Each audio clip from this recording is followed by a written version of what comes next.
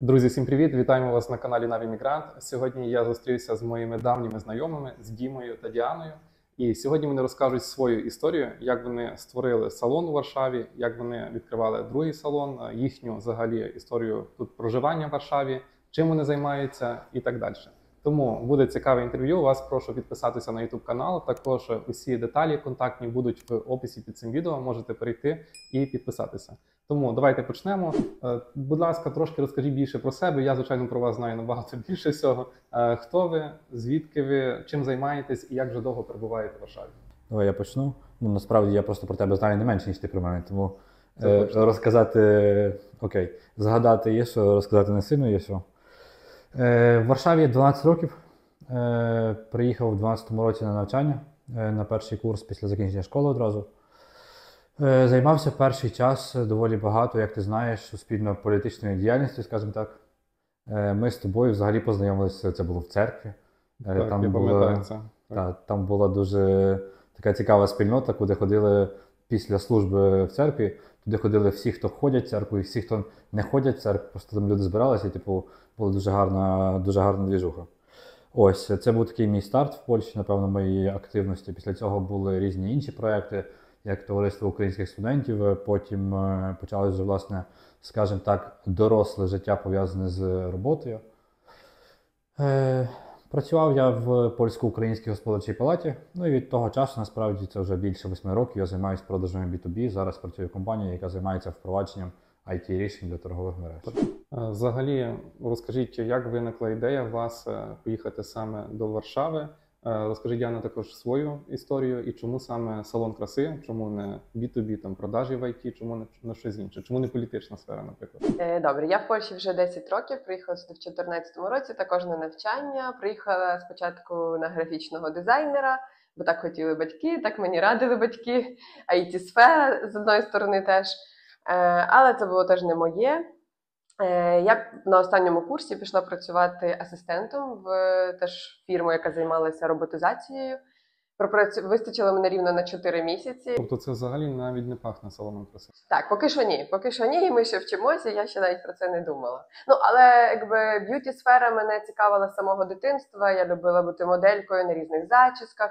Я завжди любила робити манікюри собі, е, мамі, подружкам, е, кому завгодно. І завжди в мене це дуже гарно виходило. До речі, я переб'ю тебе наперед. У вас є дуже красива дочка Софійка, і вона, як ми роз- я розумію, теж модель. Так, її е, так. супер. Починаємо. Вона, вона просто має красиву вроду, і я бачу справді, що вона вже там на різних е, картинках. Це круто. Можете подивитися в інстаграмі. В неї вже навіть свій інстаграм є.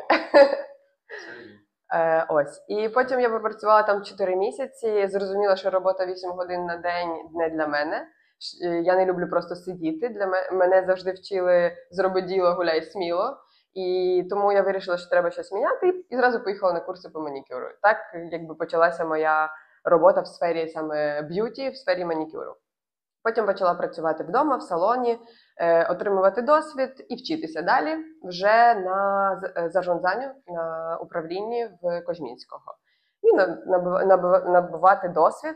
І коли закінчила навчання, вже з'явився час для того, щоб е, почати щось більше. Гаразд. Е, Чому саме салон краси? Чому не якась інша е, сфера? Це було зв'язано з тим, що ти навчилася виконувати, наприклад, там манікюр чи ще щось. Чи у вас була ідея разом це спільно зробити? Чому саме в цьому, напрямку? Мені на самому початку взагалі створення чогось ми не думаємо про це, створюємо, а потім такі, ну так мало бути. Може, не знаю, хтось дав вам поштовх, ви побачили інші салони. Яка, яка може бути основна причина? Ну, насправді так і є. На початку не розумієш, що, що відбувається, що ти робиш. Але ну, перш за все, поштовхом було те, що я працювала в інших салонах і бачила, які там є свої недоліки, і, і що можна зробити краще, і розуміла, що я можу зробити теж щось подібне і працювати в цьому. Супер. Чи був у вас взагалі досвід е, ведення бізнесу або ж відкриття бізнесу старту у Польщі до цього часу? Я маю відповісти. Е, По досвіду ведення beauty бізнесу ні не було, але я працював вже в той момент в господарчій палаті. Е, До речі, десь в проміжку між цим і моїм приїздом ми з Діаною познайомились, власне. Е, І, і коли ми починали власне діяльність, в мене був досвід не ведення своєї діяльності, але я дуже багато Я був дуже близько до людей, які вели цю діяльність, і я дуже багато спостерігав за, за цим процесом. Е, Так само я на навчанні багато ну, в університеті, коли навчався, багато вивчав речей, пов'язаних з веденням господарчої діяльності, податкові системи, вати, ціти і так далі. Тому загальне розуміння того, як має відбуватися процес, е, в мене було. Е, Ну, я доволі багато часу присвятив. Я ходив на різні курси, пам'ятаю, які пов'язані з веденням господарчої діяльності в Польщі. Тому от розуміння з адміністративної точки зору в мене, в принципі, плюс-мінус було. Е, Діана мала операційний досвід, розуміла, я так думаю, розуміла, як організовувати процес самої роботи, тому ми вирішили, що Так, я займалася вираховуванням собівар... займалася вираховуванням собівартості послуг, е, створювала якісь е, правила для адміністраторів, для майстрів. Такі операційні керівництва. А я сидів, писав е, Word з, дого- з договорами і створював Excel. Тобто, якщо забігаючи наперед, у мене дуже багато підписників хочуть почати якусь справу, і варто відмітити те, що взагалі для створення чогось потрібно або ж е, набратися досвіду, або ж все-таки розібратися так спочатку в податковій системі, там в адміністративних е, процедурах, е, щоб не робити якихось факапів. Е, Ось, наприклад, скажіть, який був найбільший факап на самому початку відкриття салону? Не Щось було таке не жодного. було. Ну ні, ну насправді були багато було проблем з ремонтом, з правилами безпеки. Е, бо ми ще на початку ж відкривали кав'ярню, і там були свої нюанси, бо ми хотіли. У нас спочатку був концепт, що ми поєднали кав'ярню з салоном. Це був такий перший, перший досвід в Польщі. І ніхто нам не міг дати, наприклад, це не піде. Ми питаємо, як має бути, а вони кажуть, ми не знаємо, як має бути. Ну, типу, робиш е, і як повезе. Це був ще період ковіду, і тоді прям тяжко було затримання інформації. Всі люди або сиділи вдома, не відповідали на повідомлення на дзвінки. Е, Піти до жіночки в санепід неможливо, тому що Ні, ну ми раз ходили, вони сказали, не знаю. потім розберемось, сказали. Е, Скажіть, будь ласка, як ви взагалі обрали саме місце для салону? Тому що я так розумію, ми зараз дуже близько до центру на вулиці Колейова, так? Е, І які основні фактори ви брали для того, щоб прийняти рішення, щоб саме тут? Наприклад, я вчора був також там в спа-салоні, він е, взагалі біля біля Варшави. І вони роблять акцент, що там немає конкуренції, там простіше людям доїхати і так далі. Ви в самому центрі. Чи ви не відчуваєте, які фактори ви приймали для того, щоб саме тут відкрити салон? Для мене основне було локалізація, щоб це був центр, бо в центр все ж таки зручно доїхати з будь-якого куточка Варшави. Е, Так само для мене було важливо, щоб були і житлові будинки, і щоб були офіси поряд. Тут є і офіси, тут є житловий будинок. Тоді цей комплекс був досить новий. П'ять років назад тут ще не було взагалі цього будинку, в якому ми зараз знаходимося. Його ще не існувало. Відповідно, ми розуміли, що це перспективна локалізація. І для мене було важливо, що це має бути салон відкритого типу, тобто, щоб нас бачили здалека. Щоб, ну, щоб це не було в квартирі десь, або на другому поверсі, або без вітрин. Тобто я хотіла, щоб це був такий салон, який буде видно, за- видно здалека. Ви також, е, я пам'ятаю цей момент. е, Ми тоді теж з Галією е, переглядали. Ви відкривали салон під час пандемії. Це було напевно найскладніші часи. Як вам вдалося пережити цю пандемію, а не закритися? Чи у вас були борги? Як взагалі ви прожили цей період? Якщо можна, я почну. Я додам трошки до попереднього питання, як ми обирали локацію. Я, я на це питання дивився трошки з іншої перспективи. Я відштовхувався від того, кого би я хотів бачити в цьому салоні клієнтами. І я тоді пам'ятаю, доволі багато проводив е, реально інтерв'ю з людьми, яких я хотів би мати в своїх, клієнтів. Я з ними говорив про послуги, які вони е, там отримують, про вартість, яку вони е, платять за ці послуги. І відповідно при пошуку локації так само намагався м, уточнювати в них, чи типу, які для них є пріоритети. Але потім прийшов ковід, е, і всіх життя помінялося. Насправді те, що ми планували до того, воно ну воно, воно, насправді змінилося. Але я думаю, що локація все рівно у нас була виграшною, тому що, як Діана сказала, там було поєднання і житлових е, приміщень, і офісних. Початково ми взагалі думали, що треба орієнтуватися на офіси. І якщо б ми орієнтувалися на офіси, то відповідно у час пандемії, коли всіх е, формат роботи змінився, перейшов з чистого офлайну в або гібрид, або онлайн повний, це було б тяжко. Тому я думаю, що локація наша справді справді була хорошою. Друге питання було. Друге питання про ковід. Ну ти вже можна сказати, пані Мірі відповів.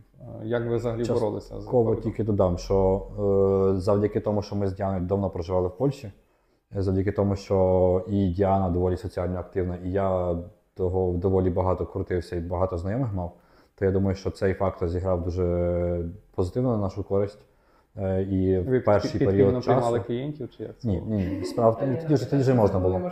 Тоді можна було в- вести діяльність, але йдеться про те, що багато наших знайомих е, підтримували наш бізнес, е, ходячи в салон і отримуючи послуги, роблячи Супер. репости, роблячи рекламу в інстаграмі. Завдяки цьому, типу, у нас була перша база клієнтів, дуже якісних клієнтів, які відповідно завдяки своєму сарафанному радіо пізніше е, дали знати про наш салон, про якість послуг, які тут надаються е, іншим людям. Супер. Як, як ми пережили ковід? Е, Ну було важко, тому що якби це все сталося реально, коли ми мали відкриватися. Нас всіх закрили вдома. І в той момент, е, якби я сподівалася на якусь лояльність зі сторони м, орендатора. Натомість вона на початку взагалі не хотіла нам жодної знижки. Ми єлі-єлі випросили якісь там 10% від всієї оренди, а це були ну величезні кошти. Ну і ми мусили платити якби з інвестицій, які ми розраховували, що ми їх предназначимо на вже розвиток. Так, коли ми відкриємося, ну я розумію, що салон не буде заробляти відразу. Бо треба платити було адміністраторам, платити працівникам, прибиральні. Ну на початку, звичайно, я була була все, все робили ми. І тому, відповідно, із-за того, що інвестиції були втрачені трошки, ну то довелося нам працювати. І працювали. Діма був на рецепції, я робила манікюр. Е, Якщо Діма, я не якщо я не робила. Ні, якщо я не робила манікюр, я працювала на рецепції. Але паралельно з цією роботою в мене була ще інша робота, яка типу нас підтримувала фінансово, тому що нам було важко. ніхто інший це не бачив цих відео. Та вони ж знають. Ні, ну але супер. Добре, що ви разом е, не здалися і ну, прожили цей період. Е, Також цікава історія. Ви відкрили ну, другий салон, наскільки я пам'ятаю, і ви його закрили чи продали. Зараз розкажіть трошки більше, чому взагалі у вас виникла ідея відкрити другий салон. Е, Чому ви його відкривали, закрили? Розкажіть, бо бо я, я, я не в курсі, що тоді, що тоді е, сталося і коли саме це було. Хай Діана почне, я доповню. Ну, моя думка була така: в нас е, просто ми любимо вирощувати, скажімо так, працівників в себе в салоні. В нас е, вже з'явилося там два дуже класних косметологи, плюс ще додатково підро- підростала ще одна косметолог. І ну, а в нас там був один лише кабінет. І я розуміла, що нам треба розширятися. І ми почали шукати приміщення. Ну я поки що до цього так серйозно не ставилася. І... Але все ж таки знайшли це приміщення, воно було дуже класним, прям з вітринами, ну дуже гарне, і мені воно дуже подобається. І вирішили попробувати, заризикувати, скажімо так. І чому ми його закрили? Тому що помінялися. Ну, він пропрацював нас рік в такому форматі, навіть більше року. Працювали два салони в, в цьому такому форматі, що там було манікюр, а тут була косметологія тільки.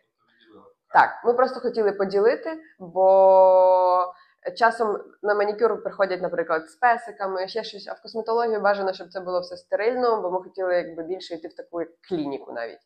Е, ось. Але плани змінилися, бо хтось завагітнів, хтось там поміняв свої плани. І я розуміла, що я не хо... із-за того, що я в цьому не знаюсь так добре, наприклад, як в манікюрі, то мені важко це продовжувати далі самій, наприклад. І вирішили, що треба щось думати. Розкажіть ще може трошки більше про вашу команду, які у вас є спеціалізації і які послуги ви надаєте, тому що теж я думаю, це буде цікаво е, дізнатися. Ми маємо послуги на манікюр-педикюр, ну, тобто нігті. Додатково маємо е, обличчя косметологію і маємо від е, вже там два роки на тіло ендосферу. Угу, супер. Е, дуже цікаво за цю ситуацію з двома салонами. Тепер давайте, може, трошки більше дамо користі для підписників. І скажіть, може, які ще були у вас найбільші виклики на самому початку ведення бізнесу?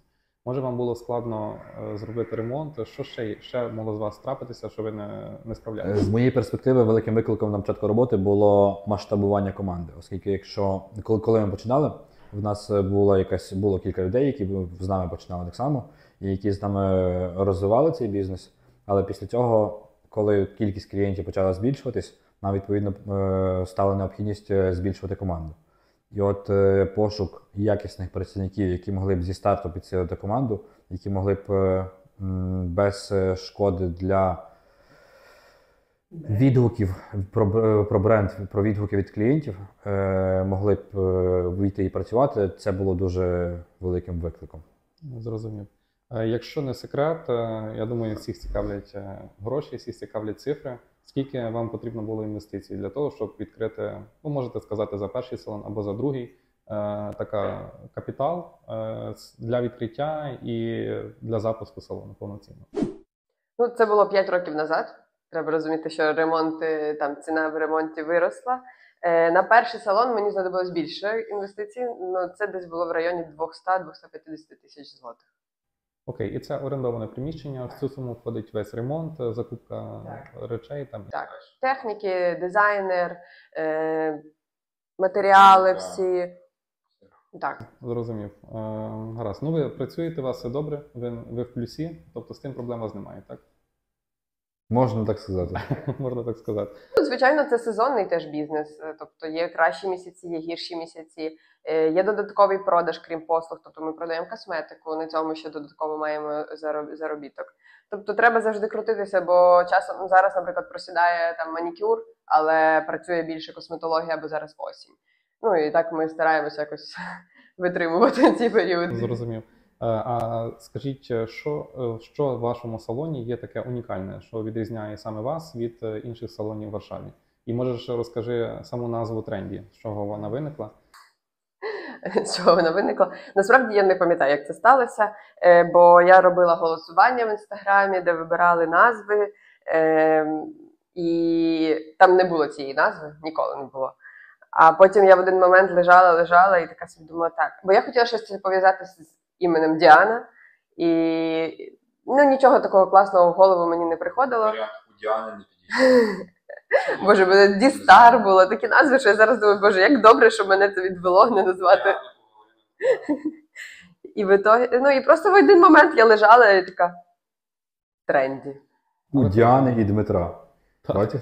Так, це було прикольніше. І, і щоб буква Д була спільна. І я вирішила, що це прям те, що от я хотіла, щоб це було легко, запам'ятовувалося. Е, щоб коли клієнти не знають, де дзвониш, альо, ти де? Я в тренді. Ну і типу, воно і звучить класно, і, і теж пов'язано зі мною. Ну, але були випадки, коли хтось писав, що у вас е, помилка в, в цьому в написі, що має бути тренді. Ну, це також, напевно, певний хід е, такий маркетинговий. Я скажу за себе, в мене теж була думка просто як назвати інстаграм. Я довго не думав. Іван написав наоборот, Наві Мігрант, і так вийшло Наві Мігрант. Тому дуже, дуже, це, це теж дуже просто. Яка унікальність у вашому салоні? Що ви такі одні в Варшаві, а не такі самі, як інші салони? Що, що вас відрізняє? Я можу почати. Наша унікальність буде в тому, що ми унікально не говоримо про свою унікальність. Якщо До речі, звучить не дуже правильно. Ну, в нас є ізюмінка така, це наша кава. Ну, тобто, що в нас є кава як в кав'ярні, і це правда, але це більше як ізюмінка. Бо насправді я не вважаю, що ми які- якісь унікальні. Ми просто стараємось робити свою роботу добре. Ми підбираємо команду, щоб вона теж робила свою роботу добре. І робимо так, щоб клієнти самі про нас говорили, а не ми про себе будемо говорити. Ну, але я забіжу наперед, мені Flat сподобався. Ну, от, власне, якщо повертатися до питання унікальності, Е, те, що ти мені підтвердив, наша кава це справді є чимось таким, що рідко, рідко зустрічається в салонах. Тому окей, якщо говорити про саме унікальність, я б виділив напевно, напевно каву. Але в цьому питанні я б так само розділив його на три частини. Тому що для мене е, з перспективи ведення бізнесу є три е, якби, етапи цієї, називаємо це унікальності, яку зараз ми поділимо. Перше це унікальність, те, що є у вас, немає нікого іншого. Е, Друге, це сильні сторони, тобто переваги, які у вас є над іншими салонами. А третє е, це просто те, що ви робите добре свою щоденну роботу. І мені здається, що в тому бізнесі, де ми зараз е, знаходимося, тут ми не є світовою технологічною компанією, де необхідна унікальність, яка буде нас рухати вперед. Нам потрібно цей бізнес просто на рівні ринку підтримувати і не факапити. Ну і ми стараємось працювати не на кількість, а перш за все на якість. На стабільних постійних клієнтів, які мають лояльність до нас, і навіть якщо щось стається таке, ну, як всіх бувають помилки, це нормально. Е, ось то я розумію, що вони від нас не підуть із-за того, що ми не знаю, ну буде новий майстер, яка його поріже, і ну бо вона знає, що це перший раз там випадок такий за довгий довгий час. Тобто ми стараємося випрацьовувати цю лояльність, е, знайомитись з клієнтами, знати їх, вони знають нас. Але так публічно, наприклад, нас там особливо ніхто не знає, бо я свій бренд е, особистий не розвиваю. А чи плануєш розвивати? Були такі думки, але мені цілий час здається, що я не для того. Я не можу, не знаю, не вмію я. Е, На рахунок клієнтів теж дуже цікаве запитання. Як е, у вас взагалі побудована стратегія е, вашої бази клієнтів? У вас в більшості це українці чи поляки? Бо я вам скажу відверто, в мене дуже різні статистики в різних там салонах, де я кого питаюся. Виявляється, що в деяких місцях там виключно на українцях заробляють, так там 90% е, клієнтів, а в інших навпаки немає жодних українців. Як у вас це побудовано, і які у вас процентному відношенні кількість клієнтів? Ну насправді, коли ми відкрилися, напевно, було більше було поляків, тому що ходила в основному з району е, пані. Люди, які вже тут проживали просто на районі. Зараз же, особливо ще після війни, то ця ситуація змін... початку війни, коли багато наших дівчат виїхало, то ця ситуація змінилася. Ну, напевно, 50 на 50. Напевно. Е, я цього такої статистики теж не веду. Всю комунікацію в інстаграмі ми ведемо виключно польською, тому що ну, у мене така думка, ми знаходимося в Польщі, тобто ми комунікуємо польською.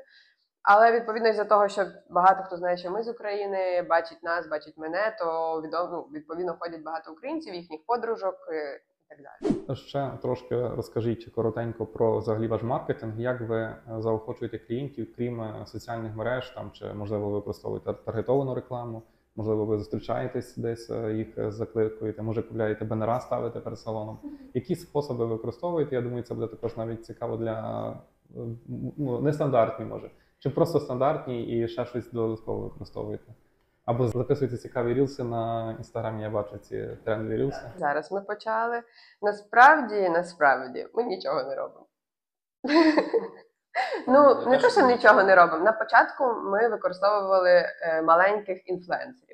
А найчастіше це були наші клієнти, які ми знали, що вони мають там не знаю, навіть 2-3 тисячі підписників, і в них є подружки, друзі. І ми розуміли, що вони навіть якщо на, нас навіть не було вимогом, щоб вони мали виставити якесь сторіс. Нас було більше, що ми їх запрошували, щоб вони спробували. Безкоштовно за мінімальну оплату ми навіть запрошували, не безкоштовно. Ми там за 60 злотих, коли в нас там 110 коштувало, ми запрошували за 60 злотих і казали: «Е, просто спробуйте, якщо вам сподобається, ви можете зробити сторіс.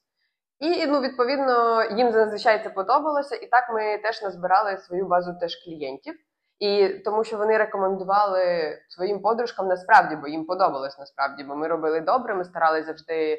е, Ну, ми робили якісно, і тому нас просто почали рекомендувати. Тому, напевно, в нашому випадку сарафанне радіо, але на яке, щоб його зробити, нам теж довелося трошки попрацювати і запросити тих людей, які зроблять нам таке сарафанне радіо. то можливо це теж дуже крута ідея для інших бізнесменів, які ведуть е, будь-які сфери бізнесу. Я навіть особисто ніколи не перевіряю себе так е, клієнтів, які приходять. Один раз я також поглянув, там була також знана людина там з Кракова, яка там має дуже багато підписників. Він просто був в мене в офісі, але я пропустив це. І можливо, справді теж варто робити аналіз інфлюенсерів, які користуються послугами, а потім з ними нав'я- нав'язувати співпрацю. Тому що я особисто переконаний, що все-таки таргетована реклама не така якісна, як е, там інфлюенсери, там чи UGC зараз е, Generated Content і так далі. Е, Скажіть ще з ваш, вашого досвіду, що б ви порадили новим підприємцям, які тільки хочуть почати власний бізнес, і як, якщо вже почали бізнес, як утримати свою команду, які їм давати такі фішки, так додатково не знаю, якусь винагороду для того, щоб вони були зацікавлені в тому, щоб з вами розвиватися е, і працювати. Насправді я не дуже багато спілкуюся з підприємцями, які приблизно на тому ж рівні, як ми ведемо підприєм- підприємницьку діяльність. Е, тому я не сильно знаю, які в них є типові проблеми, щоб щось рекомендувати. Натомість, е, з перспективи, скажімо, себе, є кілька речей, на які би я хотів звертати увагу. Більше перше з них це не уникати ситуацій чи речей, які потенційно можуть стати проблемами. Тобто вирішувати ці ситуації е, На біжанцю. Помож... по, після їх ідентифікації і якнайшвидше, тобто на корені. Не затягувати це, поки це десь випало як, випалить як проблема. Наступна річ е, насправді дуже проста і банальна. Сумлінно виконувати те, що ти робиш, не намагатися бути найхитрішим, найрозумнішим, а просто реально сумлінно, сумлінно виконувати, сумлінно, старанно виконувати свою роботу. І третя річ е, вчитися, вчитися постійно старатися опановувати нові інструменти, е, аналізувати те, що ти робиш, е, шукати, як це можна було б покращити. Ну і як додаткова доп-порада Excel. Excel допоможе всім у всьому. Супер. Ні, ну я теж раджу раху... на початку, якщо хтось починає, то добре рахувати, враховувати всі нюанси і враховувати най... Най... найпогані, ну, найгірші сценарії, які можуть бути, і вміти розраховувати все ж на себе. Там знімати розові окуляри, там не, не думати, що це все. Бо в мене є також є знайомі, які просто всліпу відкривають бізнес. Его таке, знаєте, вони розуміють, що я найкраще знаю, мають гроші, інвестують, а воно просто не працює. І вони потім думають, чому що не так. І вони навіть закриваються собі, бо розуміють, що це щось з ними не так. А насправді просто не про- не продумана там бізнес-модель, там чи просто Excel немає подібне. Ну, ва- важко на початку насправді важко, морально теж дуже важко, коли, наприклад, ми тоді з Дімою працювали 24 на 7, а лише жили на тисячу злотих. Бо тому що там Не було І- часу тратити гроші. іншому та ні. Час можна було знайти, але там заплатив адміну, заплатив оренду, е, всі там не знаю, видатки на роз, розхідники, кави. Там в кінці лишається просто ну нічого. А ти весь цей час працював е, без вихідних. Коли у вас е, вже появився час тратити гроші, і ви поєднали власне життя і бізнес, як у вас взагалі є баланс між цим? Це буде вже таке, напевно, завершаюче питання. Е, Як ви взагалі тримаєте баланс між особистим е, та бізнесом? Я відійшла від роботи, скажімо так, коли я завагітніла. Е, ну, у мене це теж це була така ціль, е, бо по-іншому я не могла теж відійти. Бо вже клієнти дуже до мене звикли, вони не розуміли, там, наприклад, що я щось не буду робити, і треба було їх поступово переводити до працівників. Ну, я це цілий час старалась робити. Е, Але була найбільша проблема з пошуком власних працівників. Тобто клієнти росли, е, а майстрів хороших було дуже важко знайти. Дуже важко. І на цих етапах, коли в нас міняються ну, майстри, таке буває досить рідко, але буває. Е, то це дуже важкий період. Треба його власне пережити, тому що клієнти адаптуються до нових е, працівників, е, я адаптуюся, працівники інші адаптуються до нового працівника, і це завжди таку складнювало роботу. Але коли я завітила, дякуючи, я мала вже дуже класну команду, яка мене дуже сильно підтримала. Вони старалися робити все, щоб я не нервувалася взагалі. Е, тобто я навіть могла деякі ситуації не знати, що там відбувалося, якісь там не погані відгуки. Вони знали, що я це дуже сильно через себе пропускаю, то вони мені навіть цього не казали, вже вміли це все вирішувати самі. Казали Дімі. Так?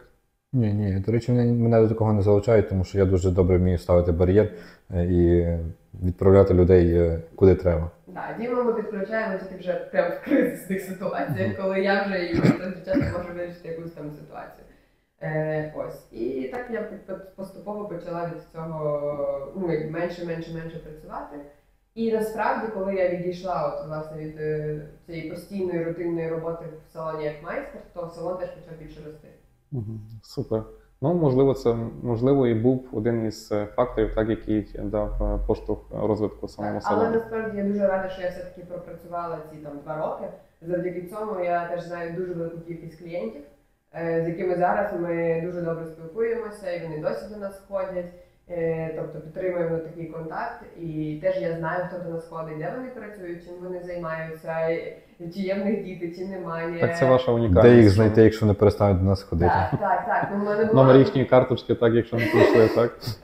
Кауцію заплатіть, бо ви не прийшли. Е, Ну, це ось. дуже круто. Так, тому якби все воно розвивалося важко, але ну не те, що важко, складно. Типу, це не було легкий шлях, легкий шлях, але все відбулося до кращого. Супер. Е, Діма, Діана, дуже вам дякую за те, що ви присвятили свій час, е, розказали свою історію. Я думаю, вам також було цікаво це послухати. Якщо у вас є питання до Діми чи до Діани, або ж е, хочете скористатися послугами Trendy Beauty в Варшаві, можете прийти. Посилання і інформацію також залишу під цим відео. А вас прошу написати в коментарях, чи вам сподобався цей формат. Прокоментуйте це відео. І до зустрічі у наступних. Всім па-па!